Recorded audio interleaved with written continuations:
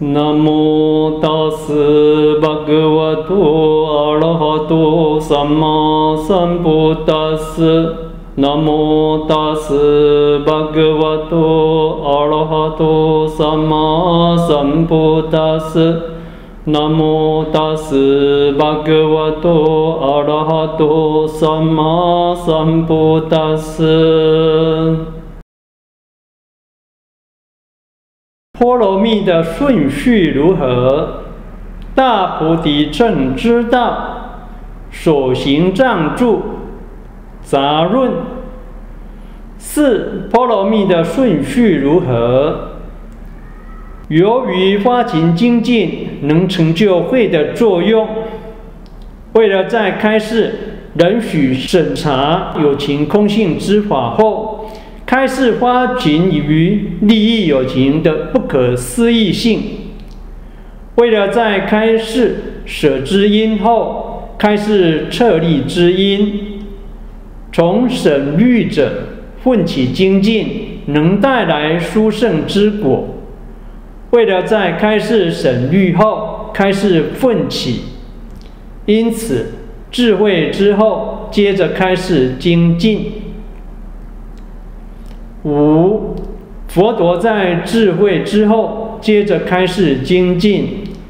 一，由于发勤精进能成就智慧的作用，即智慧必须具备精进才能发挥其作用。二，为了在教导人许审查有情空性之法的会后，接着教导。致力于利益有情的不可思议任务之精进。三，为了在教导舍之音的智慧后，接着教导策立之音的精进。四，为了在教导省虑的会后，接着教导混起的精进。如说，省虑者奋起精进，能带来殊胜的果报。达摩尼迦那堪地，人许审查法，古意为法师圣别人或地察法人。从中部经文和分别论的用法及各种注释书和附注的解释，与北传佛教论点中的含义可说完全不同。堪地人。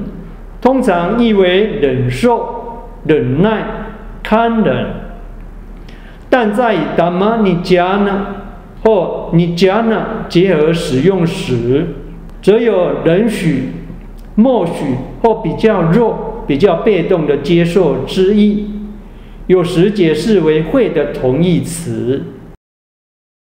尼迦呢，审查有观察、思维之意。根据分别论著的解释，人许审查法是指以无常、苦、无我一再的审查或审虑，称为五蕴的诸法时，人许或默许该审查或审虑。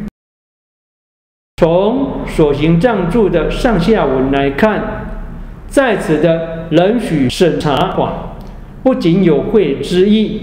也有忍辱之意，而且较偏重忍辱。从具精进者以花情精进而助于战胜有情和诸行所带来的苦之余，由于精进而忍辱成就。从具精进者确实光耀忍辱之余，由于精进庄严忍辱。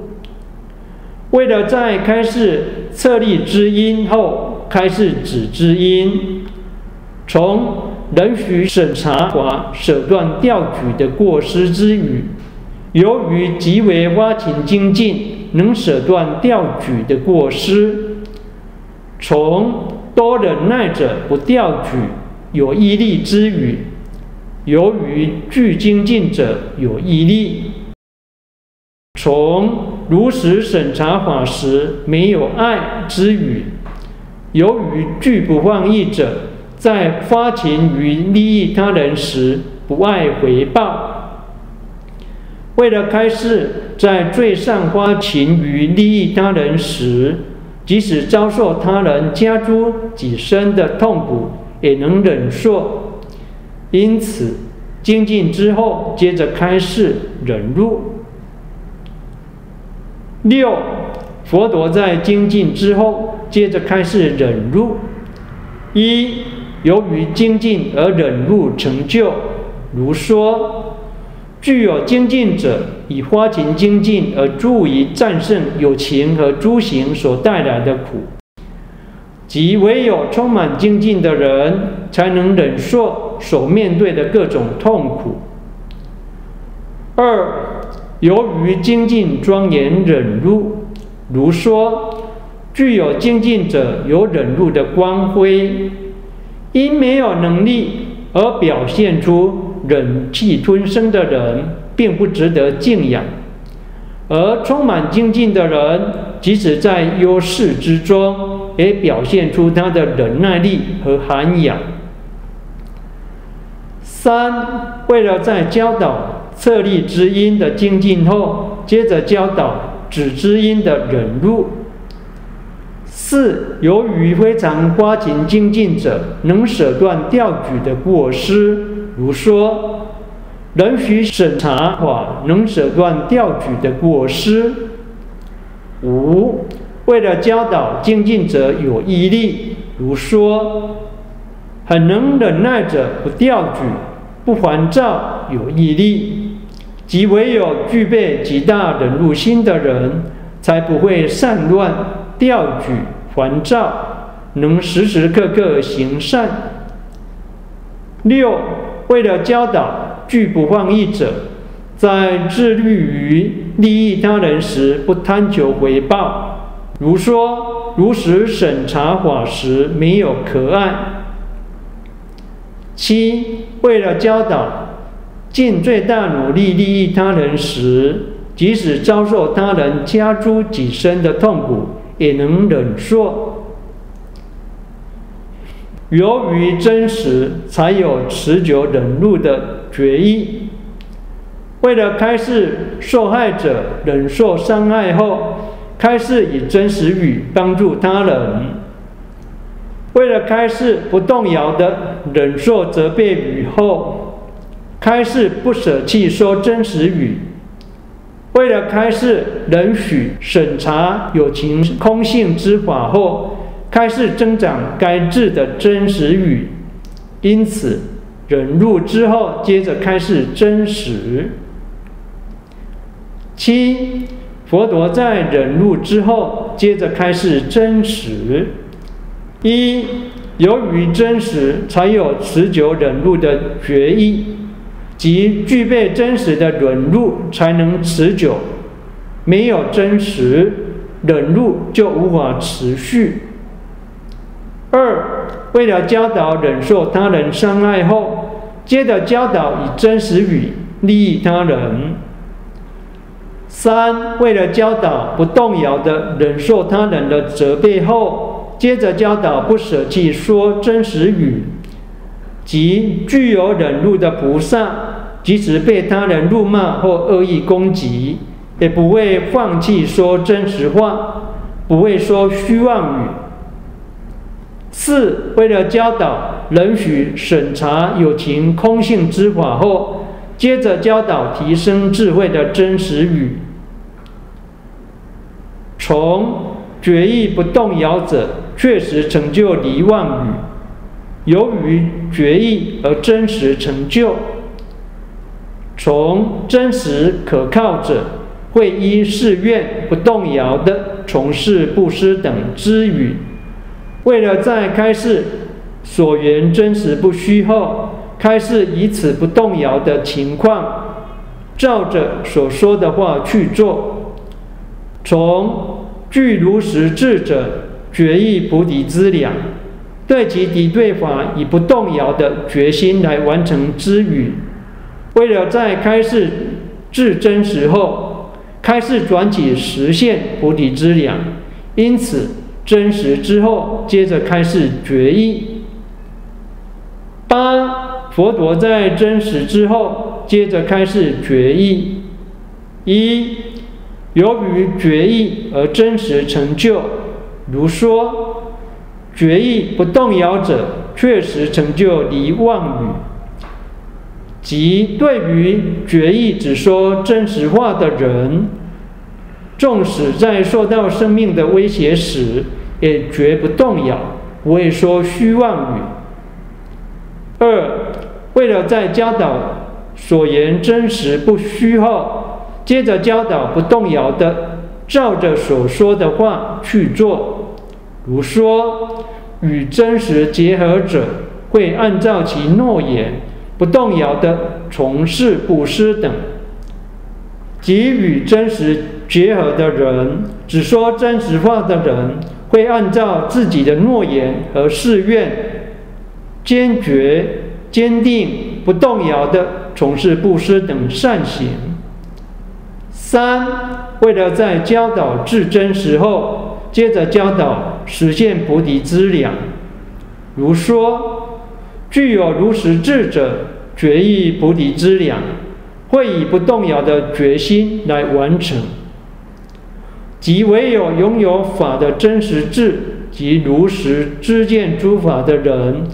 对自己所决议的菩提之量，会以不动摇的决心来实践并完成它们。由于此而成就受持利益他人的决议。